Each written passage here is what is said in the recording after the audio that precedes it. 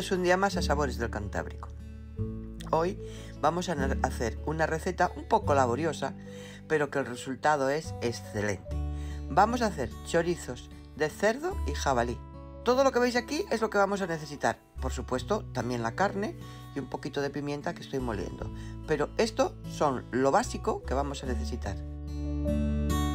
Pimentón dulce, pimentón picante, ajos, sal marina, hilo para atar y las tripas que no las tenemos aquí porque esas las remojaremos en el momento que vayamos a embutir y desde luego no va a ser hoy.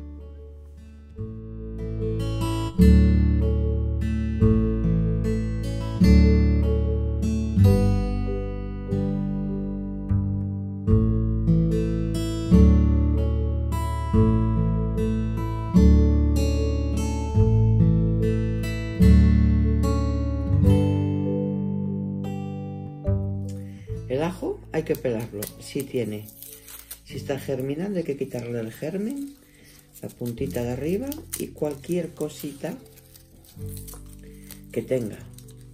Negro, marrón. Este no es el caso, estos son buenos ajos, pero ahora ya es tarde y el ajo ya empieza a germinar. Y entonces hay que quitárselo porque esto hará que el embutido sepa un poco amargo y nosotros queremos hacer un embutido de primera. Así pues quitaremos todo. Ahí tenéis a mi niña como pela el ajo, es una máquina. Todos los ajos de esta casa los pela ella. Esto es todo, es ajo, pero no sirve porque no da buen sabor y con el tiempo amarga. Mirar, esta es la carne del jabalí. Es una carne muy magra, no tiene casi grasa porque es de la pierna o del brazo y a esta carne lo que vamos a añadirle serán 15 kilos de cerdo.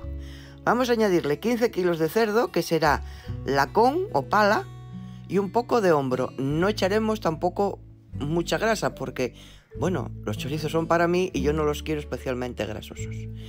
Este chorizo es un chorizo que más bien se come seco, crudo, entonces no quiero que contenga mucha grasa. Vamos a ir partiéndolo en trocitos porque vamos a pasarlo por la máquina.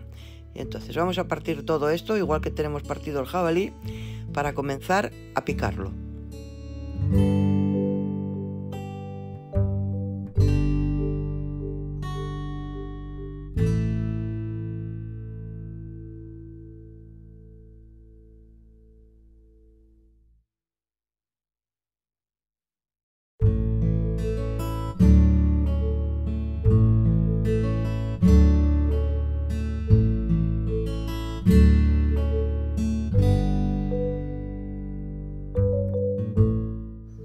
Vamos a empezar a picar. Yo tengo la suerte de tener una máquina eléctrica, o sea que esto será 5 minutos, 10 como mucho.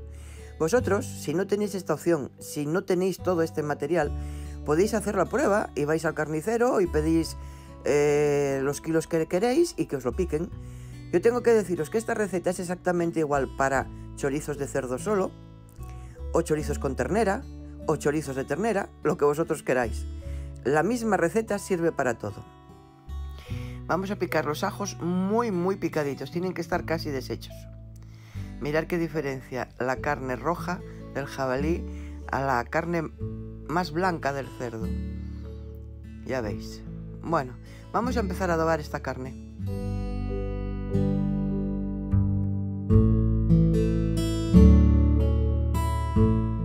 Vamos a utilizar para condimentar ajo pimentón picante, pimentón dulce, sal y en la sal vamos a añadir un poquito de pimienta negra. Lo vamos a echar junto para que se disuelva bien. Bien, vamos a echarlo primero la sal y la pimienta. Hay que esparcerlo bien, vamos a echarle una capa toda por encima.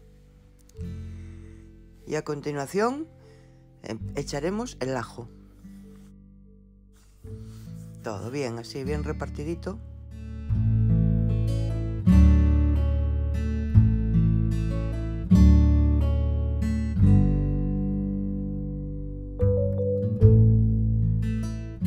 Esto ahora hay que amasarlo muy bien amasado. Y como veis ya podréis observar que por ahí hay una mano masculina que es la que se va a encargar de hacer todo este trabajo. Bueno, vamos a remover primero la carne con el ajo y la sal. Bueno, ya lo hemos dejado reposar y ahora vamos a echarle el pimentón. ¿Por qué hacemos eso? Pues lo dejamos reposar un poco porque el ajo y la sal hace que suelte un poco de líquido. Ahora, al echar el pimentón será menos trabajoso, lo cogerá mejor y desde luego lo repartirá mejor. Gente que le echa un poco de agua, que le echa un poco de vino, yo no soy partidaria de eso. Bueno, aquí ya sabéis, a darle. La fiesta empieza y aquí hay que dar como si no hubiera un mañana. Hay que remover bien removido y una vez que lo vemos así, ya está bien preparado y lo vamos a dejar reposando 12 horas.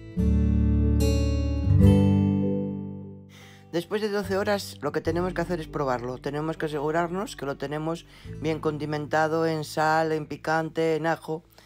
Bueno, mirar, el mío necesita un poquito más de pimentón picante porque yo el picante pues lo voy poniendo gradualmente, no nos gustan muy picantes y no queremos que nos queden excesivamente, entonces prefiero echarlo en dos veces.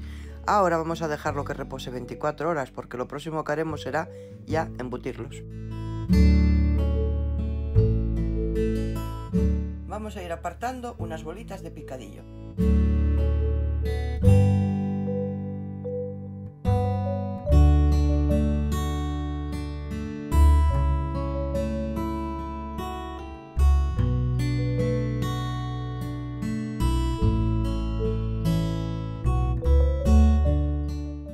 Hemos lavado las tripas, preparamos la máquina y ahora vamos a ir embutiendo los chorizos. Ya sabéis, esto supongo que ya alguna vez lo habréis hecho. Esto es cuestión de atar tripa, meter picadillo e ir enchorizando. Es lo que hay.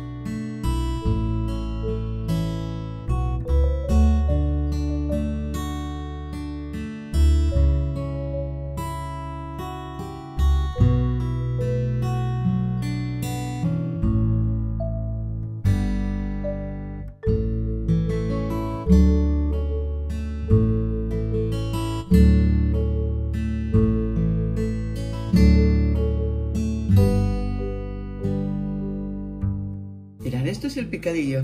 Bueno, estos son regalitos que voy a hacer, como veis. Hay los que tienen más suerte, otros tienen un poco menos. Dependiendo de cuántos son en la oficina. Estos son los choricitos y ahora voy a hacer doblones. Luego los voy a llevar a mi pueblo. No, os voy a llevar a mi pueblo donde los voy a colgar para que se curen.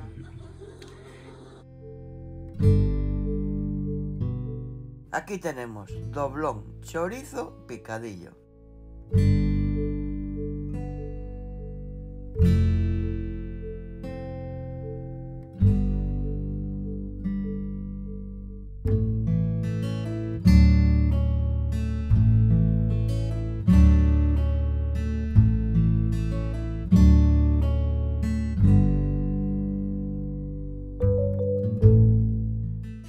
Bueno, después de hacer los chorizos, lo que vamos a hacer, o yo lo que voy a hacer es, los voy a colgar y vamos a prenderle un fuego. ¿Para qué? Para ahumarlos. ¿Qué podéis hacer vosotros cuando no tenéis este medio, los estáis haciendo en vuestra casa? Es fácil, el pimentón dulce que ponemos, pondremos mitad y mitad dulce y mitad de pimentón ahumado, que ya le dará ese sabor que le va a dar el fuego. Necesitáis que sequen un poco. Si tenéis una terraza o un lavadero, los colgáis en dos palos. Y hay una cosa que podéis hacer. Si tenéis agua caliente, la abrís y dejáis que ese calor suba al chorizo y también puede ser una opción para que sequen, porque ellos ahora lo que necesitan es un poco de calor. Después de tenerlos así unos 7, 8 días, los vais a pasar a un sitio que esté seco y a poder ser oscuro. Y este que veis aquí es el resultado después de 15 días de tenerlos entre fuego cada dos días y secando un poco. El mío ya está preparado para colgarlo en la panera y tenerlo ahí pues el resto del año o traerlo y congelarlo. Bueno, eso ya. Yo lo voy a probar así para que veáis cómo está, qué corte tiene y ya veis que después de 15 días ya está sequito, ya está... se puede consumir. Bueno, vamos a cortarlo para freír un poquito, para que veáis cómo está. Mirad, yo los chorizos no los hago con mucha grasa, esa es la verdad. Porque como son para consumir en mi casa, pues quiero los chorizos que no sean grasa, puro tocino. Bueno, vamos a freír un poco de chorizo y hacer una tortilla para degustarlo un poquitín, a ver cómo quedó después de tanto trabajo. Yo al final de este vídeo os voy a dejar la receta y os lo voy a dejar por kilo de carne y es muy fácil. Si por un kilo vais añadiendo los kilos que queréis hacerlo y lo hacéis. Y quiero deciros que es exactamente la misma receta para cualquier tipo de chorizo. Mirar qué pintaza. Bueno, y qué olor, no os lo podéis imaginar. Esto está buenísimo. La satisfacción de hacer un producto, de saber cómo lo hicimos, lo que contiene, eso es genial. Así que tenéis que probar a hacerlos. No necesitáis hacer 30 kilos, con 5 kilos, 6 kilos que vayáis a buscar, probar a hacerlos, a ver cómo salen este año y para el año que viene, pues si queréis, dobláis la receta.